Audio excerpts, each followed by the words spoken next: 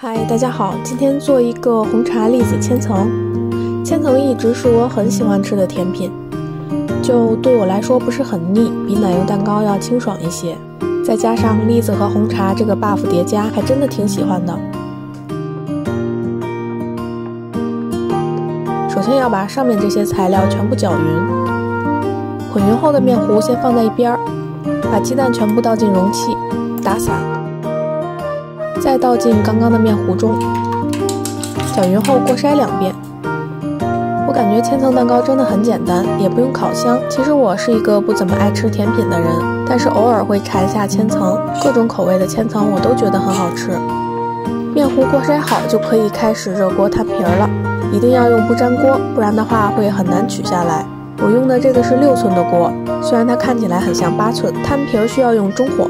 锅的热度上来之后，舀一勺面糊，迅速晃匀，多余的可以倒回去，到这种起大泡泡的状态就可以了。然后你翘起一个边边，它就会自己掉下去。饼皮儿摊完之后，我们就开始抹奶油。奶油是用了栗子酱和奶油一起打发，栗子酱的配方我放到一边了，把它们打发到八分的状态，然后一层一层的涂抹。这个没有什么技术含量，就是抹平就行。其实我从小就觉得栗子特别难吃，包括到现在依然觉得它特别干巴。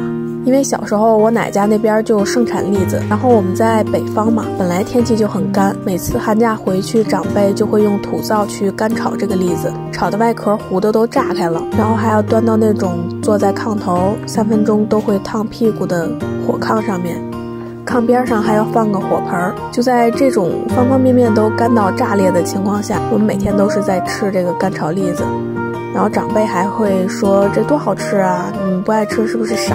更可怕的是过年挨家挨户拜年，每家佝偻着腰最爱给小孩子拿吃的的老人端出来的还是栗子，那种无力感应该就像现在的山东人看见豆角子，内心在咆哮，眼角在流泪。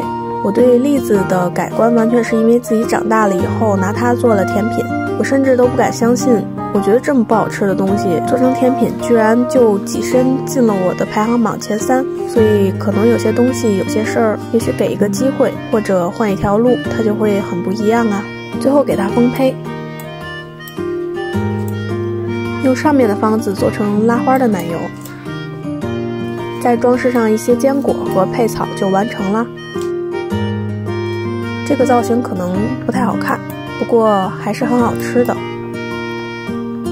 切的过程也是很让强迫症舒适的。今天的教程就到这儿啦，下次再见。